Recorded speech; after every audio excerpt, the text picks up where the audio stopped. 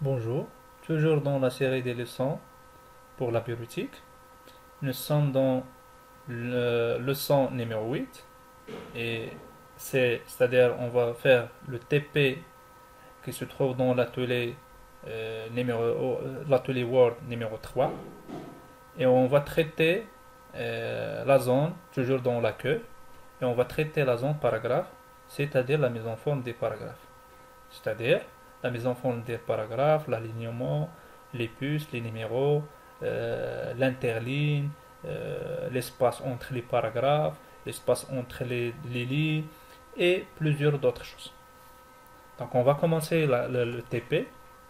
Pour ça, on va lancer euh, la brochure ou ce qu'on appelle polycope qui contient les questions. Bon, ça c'est l'atelier numéro 3. Toujours, on est dans brochure atelier Microsoft Word et on va passer directement vers l'atelier 3. Mais avant de faire l'atelier 3, on va faire une explication sur les outils euh, qu'on peut utiliser dans l'atelier. Ben, ça c'est une image qui se trouve euh, sur Microsoft Word. Donc euh, ici les outils qui se trouvent dans la zone, toujours sur la zone paragraphe. Ici. On a la première des choses, c'est l'alignement. On a l'alignement, on peut aligner les paragraphes ou quelques paragraphes à gauche ou centré ou à droite. Et dernier élément, justifié, c'est-à-dire aligner à droite et à gauche en même temps. Ici, ce qu'on appelle, on peut mettre plusieurs éléments en puce. Par exemple, lorsque je dis, par exemple, on va citer les, éléments suivants. On peut mettre des puces, c'est-à-dire des tirés, des étoiles, des petites images. la même chose, on peut numéroter les éléments. 1, 2, 3, 4, etc. Ou on a ici ce qu'on appelle liste à plusieurs niveaux. Par exemple, euh, on a besoin de mettre grand 1, petit 1, A, B, etc. Ici, c'est-à-dire je peux augmenter ou diminuer les retraits, c'est-à-dire euh, ce qu'on appelle les retraits droite et à gauche, etc. Ici, l'interligne, l'espacement entre les lignes. Et on a ici pour faire des bordures. Et ça, c'est pour les trames du fond. L'arrière-plan des, des, paragraphes ou des textes, quelques textes. Et ça, c'est l'encadrement. Bon, on passe vers, euh, euh, lorsque je lance, euh, je clique sur lanceur de boîte de dialogue, elle va m'afficher la boîte de dialogue police, pardon, la boîte de dialogue paragraphe. Donc, dans la boîte de dialogue paragraphe, on a les retraits. On va faire ça, soit à gauche, soit à droite, ou avant et après. L'espacement, c'est-à-dire on peut faire l'espace entre les paragraphes et l'interligne, l'espace entre les lignes. Et ça, c'est retrait de première ligne. Bon, donc ça, c'est les éléments à traiter dans euh, l'atelier. C'est l'atelier 3. Bon, on va commencer l'atelier. Bon, ça, c'est l'atelier 3. C'est-à-dire, on passe directement vers les questions. Donc, il va me demander de créer un nouveau document et on va l'enregistrer sur le nom paragraphe. C'est-à-dire, on va créer un nouveau document vierge et on va l'enregistrer, on va sauvegarder sur le nom paragraphe et toujours dans le dossier TP Bon, pour ça, donc on va le mettre ici en bas. On va toujours cliquer sur démarrer. On va lancer Microsoft Word. Ou deuxième méthode, c'est-à-dire on va ouvrir le dossier. On a toujours TP Word on va cliquer ici, on va créer un nouveau document. On a déjà vu ça dans les TP euh, concernant la gestion des fenêtres et on va l'appeler par exemple paragraphe. On a les deux méthodes. On va l'ouvrir. Pour le moment, le document est vierge. Euh, pardon, il est vide. Bon, toujours la question numéro 2 il va nous demander de faire quoi? De couper le texte de document police et on va coller dans paragraphe. C'est-à-dire, on va réduire paragraphe et on va ouvrir police qui toujours se trouve dans TP Word. Et TP Word, il se trouve dans le dossier TSG qui se trouve en même temps sur le bureau. On va l'ouvrir police et on va couper le texte, c'est-à-dire CTRL A ou sélectionner tout. Regardez ici, sélectionner tout. On va le copier et on va basculer vers le document paragraphe et on va coller ici avec leur mise en forme et on va fermer le document police. Bon, on passe vers les, autres questions. On est dans la question, on est dans la question 3. Saisissez le texte en haut à la fin du document, c'est-à-dire ici à la fin du document, c'est-à-dire on a l'introduction, les onglets, etc. à la fin du document. On va saisir le texte en haut, qui se trouve en haut, il est là. Regardez, c'est-à-dire à partir de, de la mise en forme du paragraphe jusqu'à jusqu'à ordinateur, jusqu'à ici. On va commencer par A, on va faire A, ouvrir la parenthèse, la mise en forme,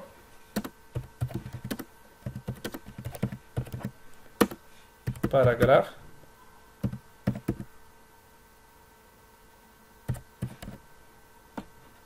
deux points à la ligne, I, petit centré,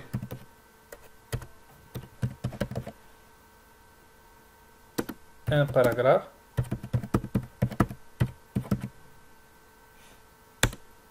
bon, permet de centrer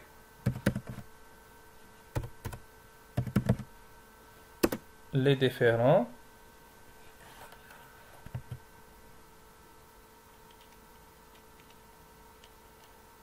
Je suis ici, tabulation, entrée et ordinateur.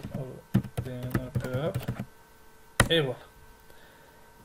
Bon, ça c'est la question numéro 3.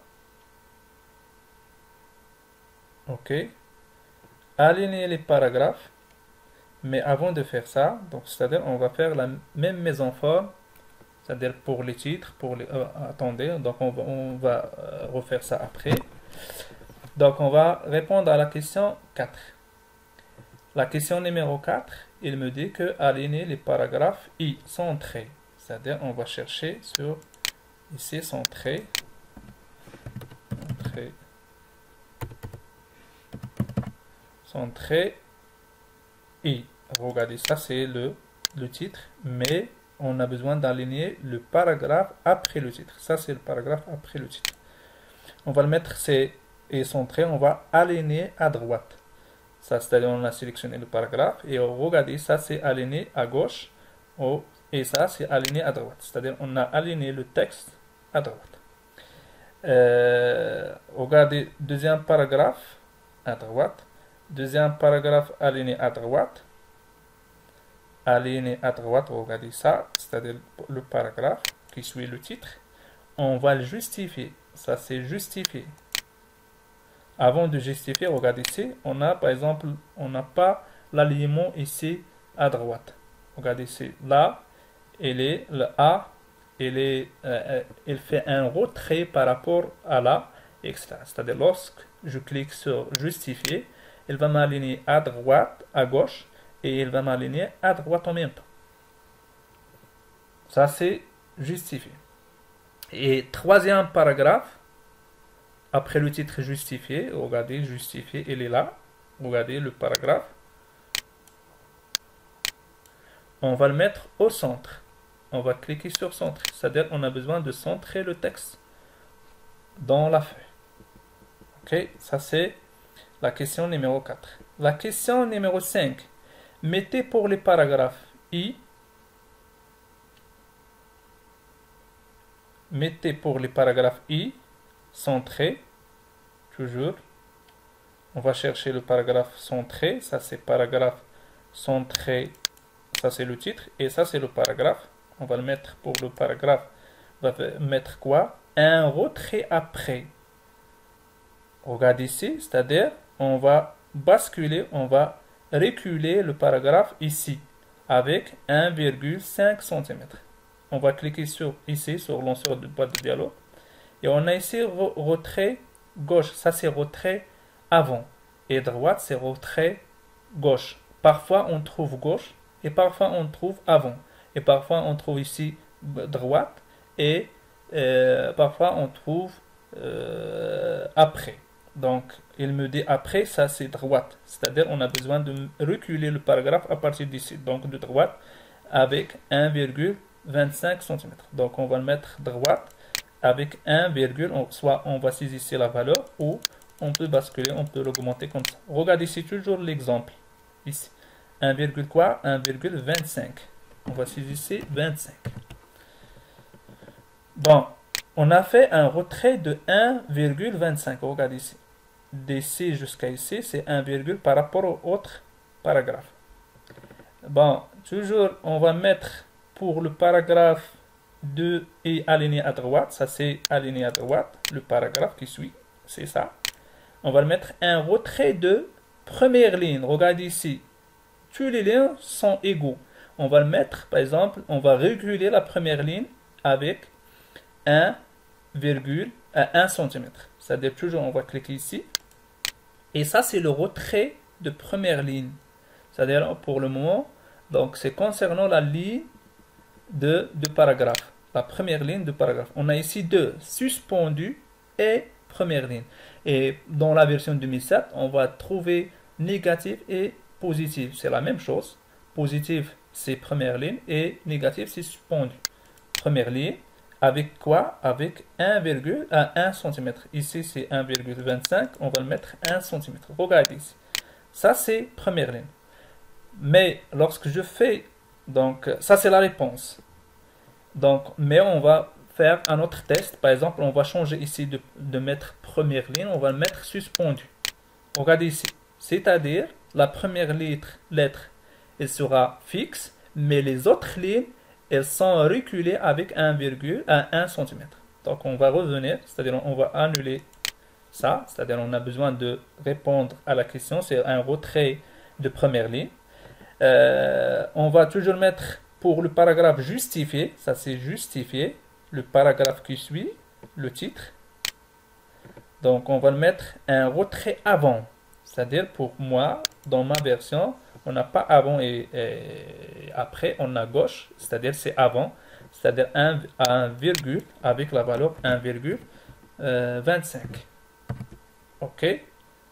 Regarde ici, toujours, c'est-à-dire on va reculer ici avec 1,25 cm.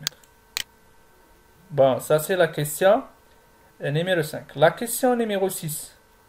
On va mettre un interligne c'est-à-dire un espacement entre les lignes de 0,5 et l'orientation de gauche à droite. Bon, l'orientation de gauche à droite pour le paragraphe définition. Donc, on va définir le paragraphe définition, il est haut, il est en haut, ça c'est définition. Ça c'est les paragraphes après le titre définition. Bon, on va le mettre, on va cliquer ici, lanceur de boîte de dialogue, on va le mettre un interligne, regarde ici, simple, et on va choisir ici 0,5. C'est comme ça. Ça, c'est la réponse. C'est-à-dire, on a diminué, par défaut, on a 1, cm entre les lignes. Mais on a diminué ça, c'est-à-dire, euh, on peut l'augmenter. Mais pour la question, c'est on va le diminuer. Et l'orientation de droite à gauche. Pour moi, elle ne se trouve pas ici. Pourquoi? Il faut donc, il faut l'installer la langue arabe. Pour moi, donc, on va l'installer la langue. J'ai pas une langue arabe, c'est-à-dire, euh, je dois arrêter euh, la vidéo. Et après, je dois l'installer l'arabe. Et je peux, donc, on va trouver ça dans l'onglet paragraphe. Je fais ça tout de suite. Bon, pour installer la langue arabe. Donc toujours on va cliquer sur le bouton démarrer. Paramètres. Ça c'est pour la version toujours sur Windows 10. On a ici langue, heure et langue. On va cliquer sur région et langue. On a ici la langue qui est déjà installée, le clavier français. On va ajouter une autre langue. Et on va commencer par l'arabe. Donc on a plusieurs euh, pays. Donc pour nous, on va choisir ici Maroc. Et on va mettre suivant. On va désactiver ça. C'est-à-dire on a besoin d'utiliser français comme langue par défaut installée. Donc ça c'est question d'autorisation. Donc OK. Et regardez ici. On va revenir vers le document. Ok, regardez ici, on a deux langues, français et arabe. On va revenir vers le document. Il faut l'enregistrer. On n'a pas ici. Il faut fermer le document et après on va l'ouvrir. Donc toujours il est là. Regardez ici, c'est le document paragraphe. Et regardez ici. Ça c'est les outils d'orientation. Ça c'est l'orientation de gauche à droite, français, anglais, etc. Toutes les langues. Et ça l'orientation de droite à gauche. C'est la même chose que donc pour l'arabe, etc. Bon, on a toujours, on va revenir vers la question. Toujours, on est dans la question 6. C'est-à-dire, on va mettre pour les paragraphes après définition l'orientation de gauche, de, droite à gauche. On va cliquer ça, c'est de droite à gauche. C'est-à-dire, on a mettre l'orientation de, de droite à gauche. C'est la même chose que pour écrire l'arabe, etc. Bon, la question numéro 7. Créer quatre styles. Le premier basé sur la mise en forme des titres introduction. Par exemple, un style qui, qui contient la mise en forme introduction, gras, etc., la couleur rouge. Deuxième, c'est avec la mise en forme définition, c'est-à-dire avec la couleur euh, vert. Troisième, c'est pour baser sur les lettres A, B, c'est-à-dire avec la couleur bleue. Et quatrième, sur les, les, les, quatrièmes titres, c'est euh, I, 2I, etc. Bon, donc euh, on va sélectionner, on a déjà créé la mise en forme. On a plusieurs méthodes pour créer des styles. C'est-à-dire, c'est quoi les styles? Sont des mises en forme sauvegardées. C'est-à-dire, on a ici déjà des styles. On va cliquer sur lanceur boîte de dialogue. On a des styles prédéfinis. Mais chaque style, il porte une mise en forme. Mais la mise en forme qu'on a déjà créée sur introduction, il n'existe pas ici sur ces styles. C'est-à-dire, je peux ajouter d'autres styles que les styles qui est par défaut sur Windows, euh, sur euh, Microsoft Word. C'est-à-dire, soit on, a ici en bas, on je répète, on va cliquer sur lanceur de boîte de dialogue Ici, on a nouveau style. Soit on va mettre nouveau style et après on va créer la mise en forme, ou on a déjà créé la mise en forme sur le, texte et on a besoin de sauvegarder la mise en forme qui se trouve ici. C'est-à-dire on va sélectionner le texte et on a ici euh, nouveau style. Regardez ici, et là, mettre la mise en forme qui se trouve sur le titre introduction. C'est-à-dire la taille 16, black, arrière black, gras, la couleur rouge, et je peux ajouter d'autres choses. On va l'appeler par exemple ce style-là avec ST1, par exemple, le titre du style. Et on peut ajouter d'autres, regardez ici, mise en forme, format, je peux l'ajouter d'autres mises en forme, mais pour le moment, on a besoin d'appliquer seulement la mise en forme qui se trouve sur, introduction. Et je clique sur mettre à jour automatique. OK? Et on va créer. Regardez ici. La même chose pour définition, on va créer un style qui se base sur euh, définition, nouveau style, et on va l'appeler par exemple ST2. On va seulement cocher la case mettre à jour automatique. On va sélectionner troisième type de style, troisième type de titres, c'est les titres qui commencent par les alphabets A, B, C, D, etc. On va créer un troisième style, on va l'appeler ST3. On va mettre à jour, ok. Et quatrième style, c'est il se base sur le texte, euh, sur le titre qui commence par I. Donc, créer un style ST4. Ok. On a créé pour le moment les quatre styles. C'est-à-dire, regarde ici, style 1, 2, 3, 4. On va revenir vers la question 7. Toujours, on a créé les styles. On va fermer ça. Bon. Et on va appliquer ces styles sur le document. C'est-à-dire, tous les titres qui commencent par grand 1, euh, grand 2, grand 3, etc., on va l'appliquer le style ST1. Regardez ici. Introduction, euh, les onglets, c'est style 1. Définition, est-ce qu'il y a d'autres titres plus grands? Non. OK. pardon, est-ce qu'il y a d'autres? Donc, euh, on a ici, les ça c'est le sous-titre euh, I. Donc, bureau, on n'a pas. Bon, on va revenir. Définition, c'est style 2. Tous les titres qui commencent par 1, 2, 3, donc accueil, style 2. Regardez, est-ce qu'il y a d'autres titres qui contiennent 1, 2, 3 On n'a pas pour le moment. C'est bon. Troisième style, c'est les, titres qui commencent par les alphabets. Regardez ici, style 3. Est-ce qu'il y a d'autres Regardez ici, ça c'est le texte mis en forme de paragraphe et commence par A. On va cliquer sur style 2. Regardez, elle a changé la lettre, c'est-à-dire elle a suivi après le A, c'est B. Est-ce qu'il y a d'autres? Regardez ici, ça c'est B, elle va me mettre en C. Regardez ici, et ainsi de suite. La même chose, on va sélectionner les, les titres qui commencent par le petit i, petit 2i. Donc on va sélectionner ici style 4. Et on va l'appliquer, ça c'est style 4. Ça c'est style 4. Regardez ici, ça c'est style 4. Et ça c'est style 4. La même chose.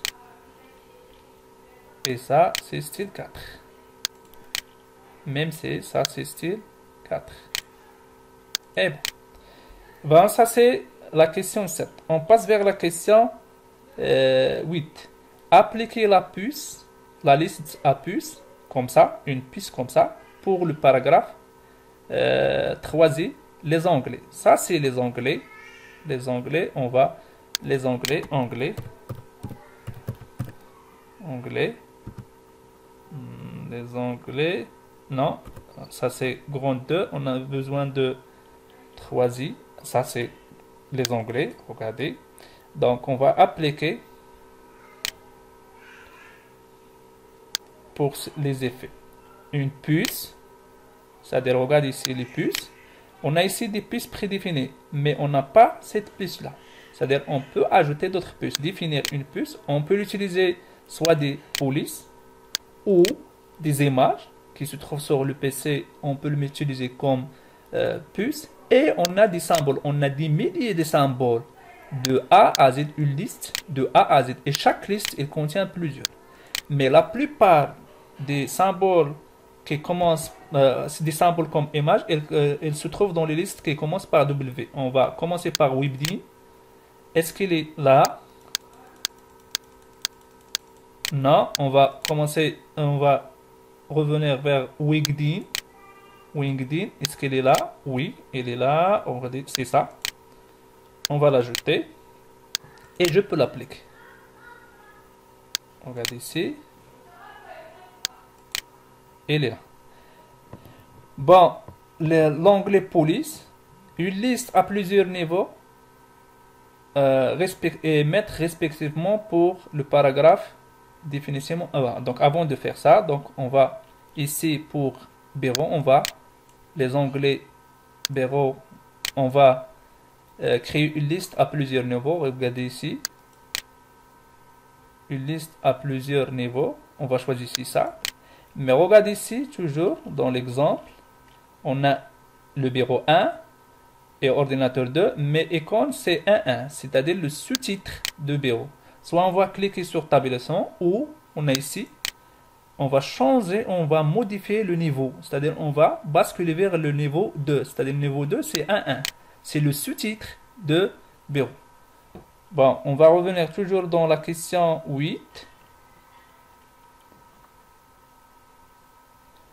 Bon, je peux mettre, au lieu de mettre les puces, je peux mettre des, chiffres. Par exemple, au lieu de mettre des puces, je peux mettre des chiffres, mais ils, n'ont pas demandé, il n'est pas demandé dans la question. C'est-à-dire, je peux mettre des alphabets externes. Mais pour le moment, il m'a demandé de mettre des puces. Bon, on va répondre à la dernière partie de la question. C'est-à-dire, on va mettre un espacement avant et après, c'est-à-dire espacement avant C6 et espacement après C12 pour le, paragraphe après le titre définition. Donc, les paragraphes après le titre, regardez ça. C'est-à-dire on on a besoin de changer l'espace avant le paragraphe et après le paragraphe. C'est-à-dire on, a besoin de mettre l'espacement entre les paragraphes. Regarde ici, toujours espacement, ça c'est avant, on va le mettre 6. Et après, regardez toujours l'exemple ici, je peux l'augmenter et je peux le diminuer. Regardez, c'est toujours ça, c'est l'exemple qui se trouve ici, mais la question, elle me demande 12, c'est-à-dire on a besoin de euh, mettre 12, 12 points entre, après le paragraphe, c'est-à-dire le paragraphe sélectionné, c'est ça. C'est-à-dire après, c'est-à-dire on a besoin de mettre 12 euh, points. Mais avant d'étudier Word, donc on a, euh, donc on a de l'habitude d'utiliser euh, entrée, entrée. Donc, et regardez est-ce que je peux mettre le curseur ici? Mais lorsque je fais entrée, je peux faire de mettre le curseur et je peux faire d'entrer ou d'ajouter quelques textes. Toujours, on passe vers la question 9. Pour créer pour le paragraphe, choisir les onglets, une trame gris. Bon, on passe vers les onglets, onglet sans S. Ça c'est l'onglet. On va mettre une trame. On va sélectionner ces éléments, pardon.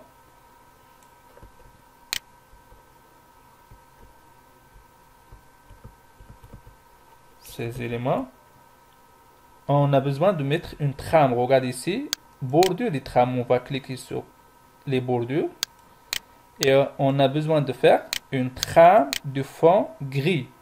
Ça, c'est les trames de fond. Regardez ici, trame de fond. On va choisir n'importe quelle couleur, ici gris. Et bon, et toujours, on va mettre une bordure avec la couleur rouge. Bordure. Et on va choisir le style, n'importe quel style. Par exemple, on va choisir ce style-là. Et avec la couleur rouge. Ah non, c'est le style, c'est d'autres styles. C'est-à-dire, on va choisir le style comme ça. On va chercher ici. Elle est là. Et on va le mettre avec la couleur rouge. Et combien Donc l'épaisseur, c'est 3 points. Ok. C'est-à-dire, on a encadré euh, le, paragraphe ou les éléments qui se trouvent dans l'onglet Effet. Bon, on a déjà euh, donc on a cité et on a utilisé les, outils qui se trouvent ici. Et même si les outils qui se trouvent ici, euh, donc les, retraits, c'est pour reculer le paragraphe ou la première ligne. Ça, l'espacement, c'est pour mettre des espaces entre les paragraphes. Et on a ici d'autres choses, donc les puces, les numéros, la liste à plusieurs niveaux. Par exemple, lorsqu'on a par exemple les, grands titres, les sous-titres, etc. L'orientation, est-ce qu'elle est de l'arabe ou, euh, euh, français ou l'anglais. Donc ça c'est l'alignement et ça c'est l'interligne, l'espace entre les lignes et ça c'est les bordures, c'est-à-dire pour encadrer euh, le texte ou encadrer les, les paragraphes. On va enregistrer le document et on va fermer. Et on a fini l'atelier donc 3 l'atelier prochain, c'est l'atelier 4. Donc, euh, merci pour votre attention. Donc, à, aux leçons suivantes. Au revoir.